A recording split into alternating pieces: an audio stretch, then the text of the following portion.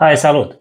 Am rezolvat până acum de multe ori acest puzzle, care se numește Pyramix, căci are forma unei piramide.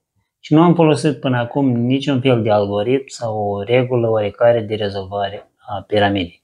Deci, dacă deja știi să rezolvi cubul 3 pe 3 și îți place acest lucru, vei reuși și tu să strângi această piramidă micuță chiar intuitiv. Dar astăzi m-am uitat la mai multe tutoriale și dacă totuși vrei să înveți niște reguli cum să o strângi mai eficient, rămâi alături și îți arăt cei mai simpli pași din punctul meu de vedere. Așa, vorba poetului. Viața nu este complicată, doar noi suntem cei care o complicăm.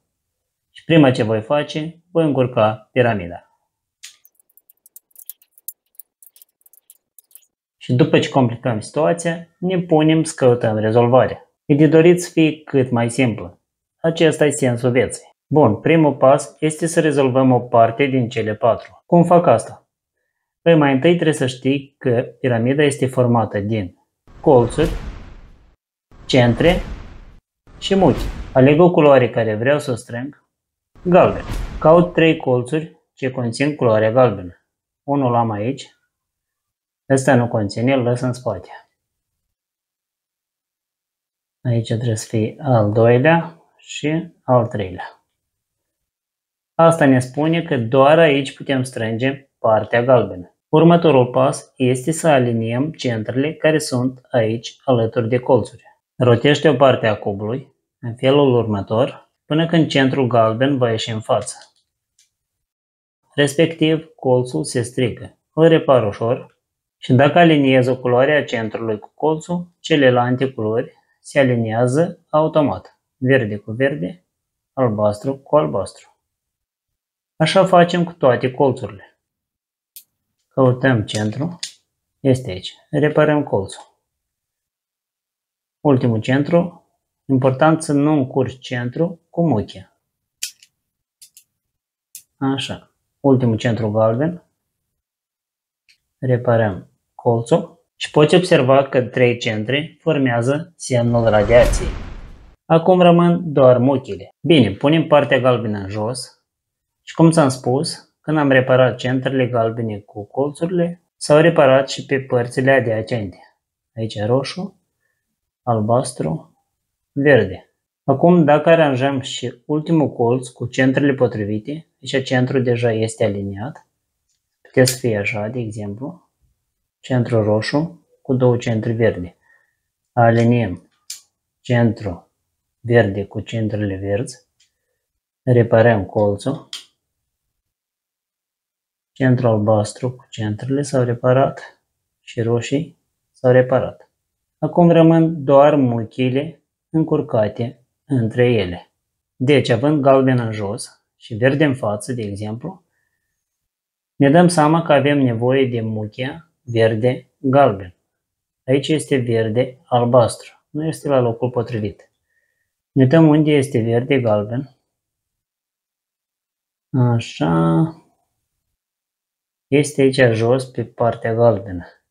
Deci dacă era aici sus, pur și simplu o coborăm și o schimbăm. Dacă este jos, va trebui să o aducem pe, pe partea asta, pe linia de sus. Cum facem asta?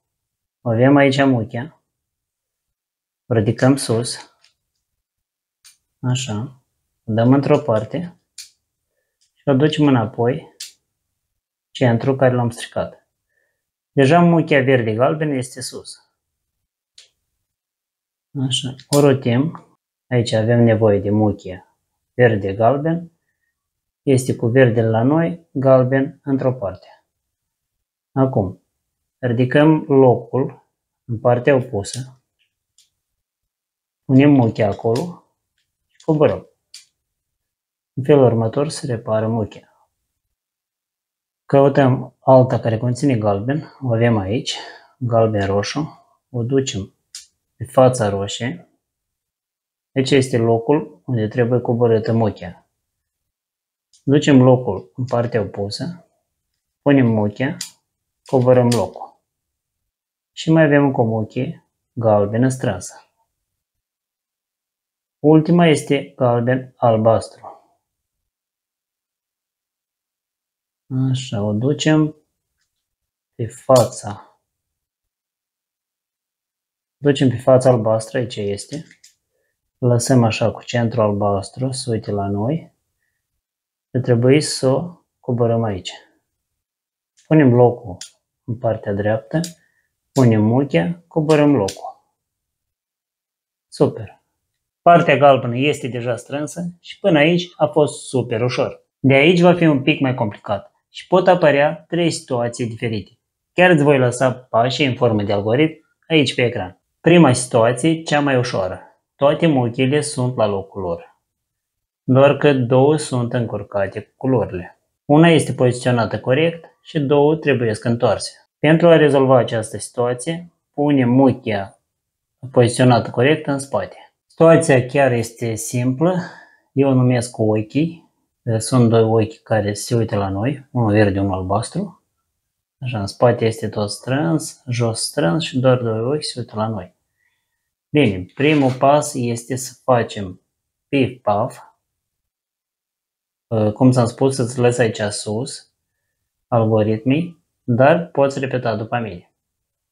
Coborâm partea dreaptă, coborâm partea stângă. Suim partea dreaptă, suim partea stângă. Acesta este un fel de pif-paf ca la 3 pe 3. Acum, tot un pif-paf, dar cu partea de sus. Aceleași mișcări, dar un pic diferit. Facem partea de sus. Suim. Din partea stângă, suim. Partea de jos, coborăm. Din partea stângă, coborăm. Și așa am rezolvat prima situație. Pentru a o reține mai bine, mai pui o dată și mai vezi încă o dată sau repeți pur și simplu după schema care ți-am lăsat-o sus. Următoarea situație, la fel, nu este chiar complicată. Cum vezi, muchile sunt în perechi, doar că sunt pe fețe nepotrivite. Două albastre stau aici, două verzi, două roșii. Este o situație simetrică și de aceea poți să începi algoritmul din care, din care parte vrei.